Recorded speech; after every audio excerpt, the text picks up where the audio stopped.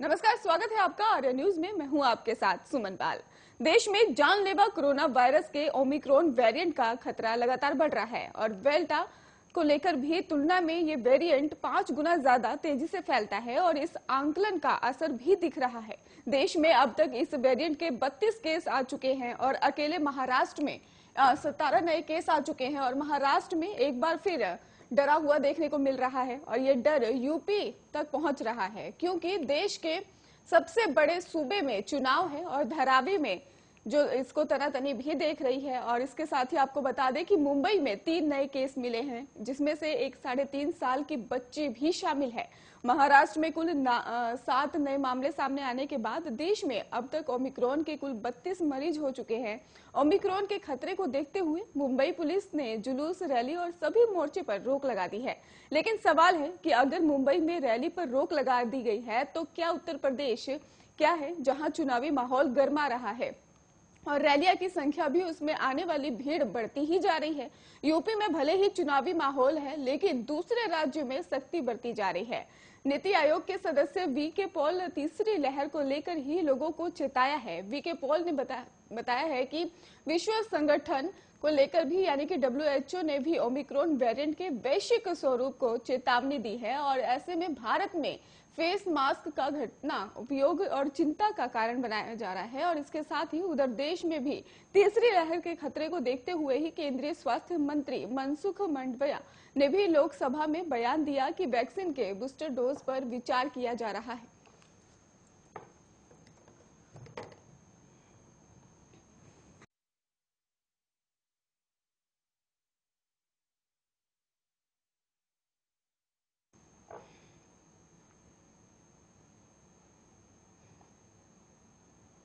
एक साल तक किसान सड़कों पर डटे रहे, खुले आसमान के नीचे, तंबू और टेंट के भीतर गर्मी, सर्दी सब सहते रहे। लेकिन आज किसानों के चेहरे पर कोई परेशानी नहीं है, बल्कि उनके भीतर जीत का भाव है। किसानों में जश्न का माहौल है और कानून वापसी की मांग मनवाकर आज किसान घर लौट रहे हैं। और इस बात तो आपको बता दें कि इस बात किसानों की जो है वो जीत की बात सामने आई है और किसानों ने आज पूरे देश में विजय दिवस मनाने का भी ऐलान कर दिया है और दिल्ली से हरियाणा तक के किसान अपने घरों को लौट रहे हैं।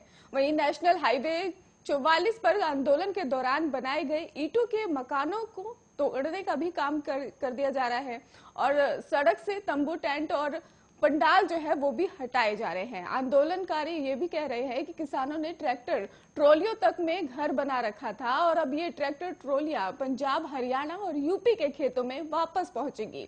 अन्नदाता अनाज उगाने के काम में जुट जाएँगे और दिल्ली की चमचमाती सड़कों पर एक साल बाद गाड़ियाँ फिर से दौड़ती हुई नज़र आएँगी। आंदोलन खत्म करने के ऐलान के साथ ही किसानों ने घर वापसी के लिए 11 और 12 दिसंबर की तारीख तय की थी और दिल्ली की सीमाओं से लौटते वक्त ही किसानों का पंजाब सरकार स्वागत करेगा और इसका ऐलान सीएम चरणजीत सिंह चन्नी ने भी किया है।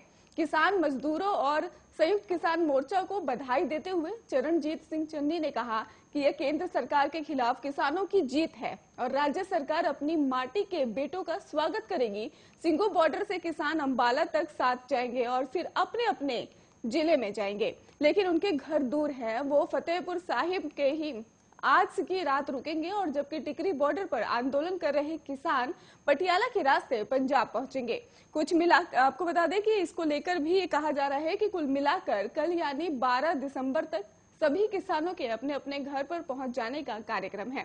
वहीं 13 दिसंबर को किसान अमृतसर में श्री दरबार साहब में मत्था टेकेंगे और 15 दिसंबर के बाद सभी पंजाब, हरियाणा सब जगह टोल मॉल और पेट्रोल पंप में चल रहा प्रदर्शन खत्म हो जाएगा।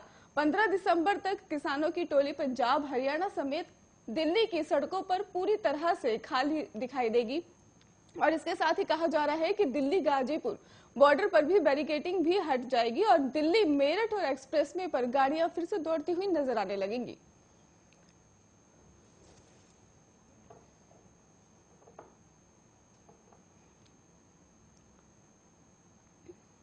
प्रधानमंत्री नरेंद्र मोदी आज उत्तर प्रदेश के बलरामपुर ज़िले में दौरा करेंगे और सरयू नहर राष्ट्रीय परियोजना का उद्घाटन करेंगे, जिससे 14 लाख हेक्टेयर से ज़्यादा भूमि की सिंचाई के लिए पानी मिलेगा और क्षेत्र में लगभग उनतीस लाख किसानों को फ़ायदा भी पहुंचेगा।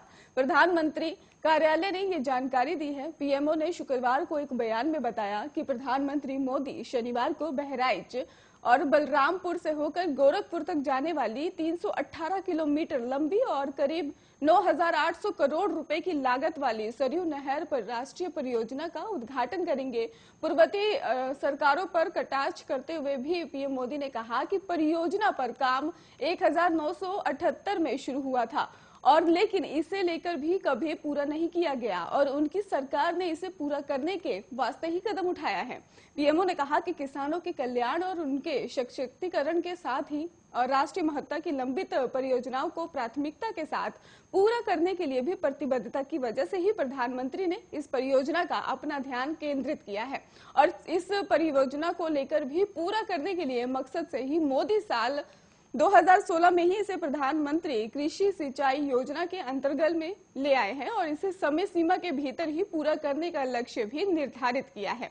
पीएमओ ने बताया कि इसे सरकार जो है, साकार करने के लिए भी भूमि अधिकरण और कानूनी उड़चनों सहित अन्य समस्याओं का समाधान निकाला गया और इसी का परिणाम है कि इस महत्वपूर्ण परियोजना का काम चार सालों के भीतर ही पूरा कर लिया गया। पीएमओ ने कहा कि इस परियोजना को 9,800 करोड़ रुपए में पूरा किया गया। इसमें बता दें आपको कि 4,600 करोड़ रुपए का प्रावधान पिछले चार सालों से किया गया है और इस परियोजना में पाँच नदियों को भी जोड़ा गया है। घाघरा सरयू राप्ती और बाढ़ गंगा और रोहिन नदियों को जोड़ने हुए ही इसको 318 किलोमीटर लंबी मुख्य नहर और इससे जुड़ी 6,600 किलोमीटर लिंक नहरों वाली उक्त नहर से ही पूर्वांचल के नौ जिलों बहराइच और बलरामपुर गोड़ा और बस्ती, महाराजगंज, सिद्धार्थनगर, संत कबीर नगर और गोरखपुर के लगभग उनतीस लाख किसानों को लाभ मिलेगा।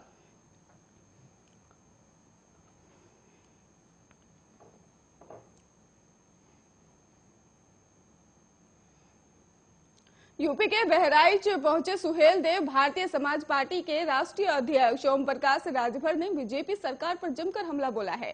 यहाँ महापंचायत में मुख्य अतिथि के रूप में ही पहुँचे ओम प्रकाश। राजभर ने उत्तर प्रदेश की योगी आदित्यनाथ की बीजेपी सरकार पर निशाना साधते हुए कहा कि प्रदेश की जनता योगी जी के सांड से परेशान है।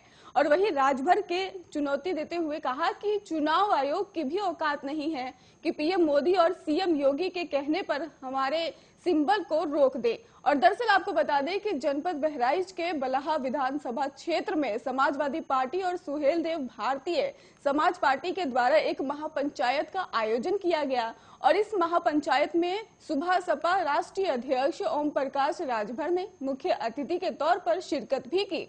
और इस कार्यक्रम में ओपी राजभर ने बीजेपी सरकार पर जमकर निशाना साधा। उन्होंने कहा कि योगी जी के सांड से लोग परेशान हैं। ये सांड गरीब किसान की फ़सल को चर रहे हैं, जिससे किसानों ने अब बदलाव का मन बना लिया है। और ओम प्रकाश राजभर ने सुबह सपा के सिंबल को चुनाव आयोग द्वारा वापस लेने के सवाल पर चुनाव आयोग को खुली चुनौती देते हुए कहा कि ये भारतीय जनता पार्टी की ओम प्रकाश राजभर को बदनाम करने की साजिश है। उन्होंने कहा कि किसी की माँ ने इतना दूध नहीं पिलाया कि हमारे सिंबल को रोक दे।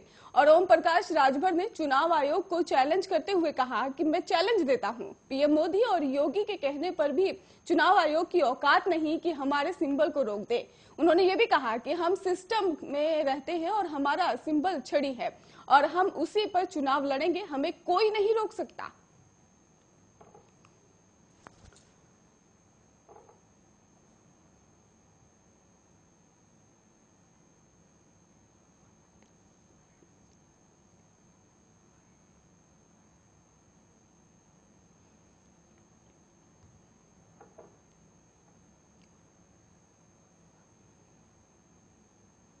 फिरोजाबाद में उत्तर प्रदेश के उप मुख्यमंत्री केशव प्रसाद मौर्य ने छह सौ इकसठ करोड़ रुपए की लागत से एक परियोजनाओं का लोकार्पण किया। लोकार्पण कार्यक्रम के बाद उन्होंने मंच से भाषण देते हुए समाज पार्टी को लेकर जमकर निशाना भी साधा है। उन्होंने कहा कि 2017 में अगर आपने सपा को चुन लिया होता तो सपा अराजकता करती और देश को बर्बाद कर दिया होता। और अखिलेश यादव की रैली में उमड़ने वाली भीड़ को लेकर भी उन्होंने चुटकी लेते हुए कहा कि 2017 से पहले भी दिखाई देती थी, लेकिन इससे कुछ नहीं होने वाला। मौर्य ने नया नारा दिया है, कहा 2022 में 100 में से 60 हमारा है और 40 में बंटवारा है। बंटवारे में भी हमारा है और रैली में आई भीड़ से उन्होंने कहा कि आप हनुमान जी की तरह शक्तिशाली हो। आप 403 सीटें भी जीत सकते हैं। मौर्य ने दावा किया कि 2022 के नतीजे आने के बाद कई नेता विदेश चले जाएँगे और सपा के मुखिया को बीजेपी की वैक्सीन बताने पर भी अड़े हाथों लिया है उन्होंने। और इसके साथ ही उन्होंने कहा कि हमने 125 करोड़ लोगों को वैक्सीन लगाई है। मीडिया के सवालों का भी मौर्य ने जवाब देते हुए कहा कि उनसे पूछा गया जब कि विकास की बातें करने वाली पार्टियाँ अब अब्बा जान, चच्चा जान और ज़िंदा लाल टोपी, काली टोपी और जाली टोपी पर आ गई है। इसको आप कैसे देखते हैं?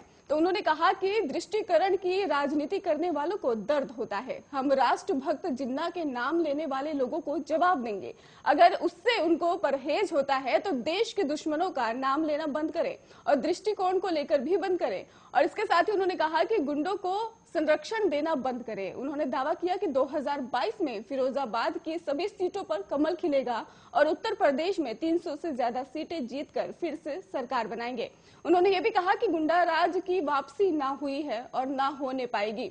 कमल खिला है, कमल खिलेगा।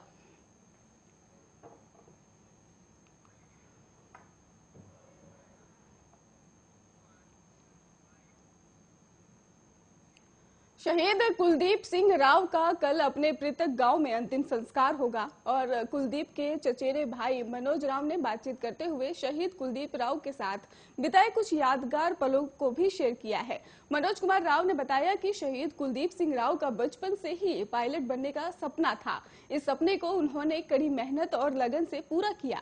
करीब दो महीने पहले कुलदीप राव परिवार के साथ तीन दिन की छुट्टियाँ मनाने के लिए बाघा बॉर्डर पर गए थे। कुलदीप काफ़ी खुश थे और उन्होंने बताया कि कुलदीप बहुत ही मिलनसार था और मनोज कुमार राव ने यह भी बताया कि शहीद कुलदीप सिंह राव की पार्थिव देह गुरुवार को ही दोपहर में ढाई बजे वहाँ से रवाना होगी। और इसके साथ ही उन्होंने कहा कि शहीद कुलदीप सिंह राव को गार्ड ऑफ़ ऑनर दिया। और कुलदीप सिंह की पत्नी यशवनी ढाका को लेकर भी बहन और नेवी ऑफिसर अभिना मलिक को भी शहीद कुलदीप की पार्थिव देह रिसीव की है। और इसके साथ ही आपको बता दें कि शहीद का शव शुक्रवार को ही उनके पृथक गाँव घरडाना खुर्द लाया जाएगा। और इसके साथ ही आपको बता देते हैं कि उनका अंतिम संस्कार होगा। शहीद कुलदीप सिंह राव का अंतिम संस्कार उनके पृथक गाँव चिड़ाना के ही वहाँ पर हुआ जाएगा और इसके साथ ही जिस जगह पे उनका अंतिम संस्कार किया जाएगा, वहाँ ग्यारह हज़ार वोल्टेज की लाइन जा रही थी और उसे बिजली विभाग के कर्मचारियों ने हटा दिया। खेतड़ी के नगर में ही इसको लेकर हाई टेंशन देखने को मिल रही है और सरपंच महेंद्र राव ने बताया है कि देश के लिए कुलदीप ने जान दी है। पूरे गाँव में शोक की लहर है, लेकिन सब लोगों को कुलदीप की शहादत पर गर्व है। पूरा गाँव शहीद के अंतिम संस्कार में शामिल होगा।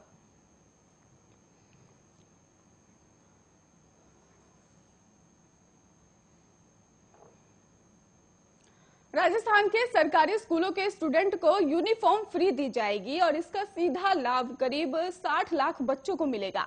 सरकार ने इस साल यूनिफॉर्म का कलर भी बदलने का निर्णय लिया है। मुख्यमंत्री अशोक गहलोत की बजट घोषणा का अमली जामा पहनाने के लिए ही राज्य सरकार प्रत्येक स्टूडेंट पर करीब 600 रुपए खर्च करेगा।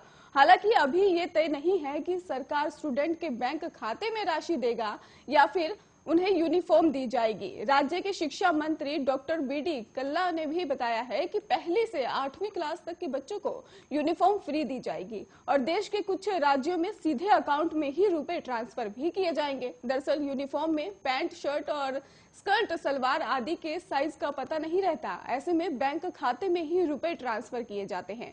राजस्थान में भी इसी तरह रुपए बैंक खाते में देने का निर्णय हो सकता है। छात्रों के लिए हल्के नीले रंग की कमीज और गहरे भूरे रंग दूसर को लेकर रंग की पैंट दी जाएगी। और इसके साथ ही कहा जा रहा है कि लड़कियों को हल्के नीले रंग का कुर्ता, शर्ट और गहरे भूरे धूसर रंग की ही सलवार और स्कर्ट दी जाएगी। लड़कियों को डार्क ग्रे रंग की चुन्नी भी ओढ़नी होगी और सर्दी में इन कपड़ों के साथ ही डार्क ग्रे कलर का कोट या फिर स्वेटर भी पहनने को दिया जाएगा। वैसे तो स्टूडेंट को इसी सत्र में ही यूनिफॉर्म पहननी है, लेकिन इसका दबाव नहीं होगा।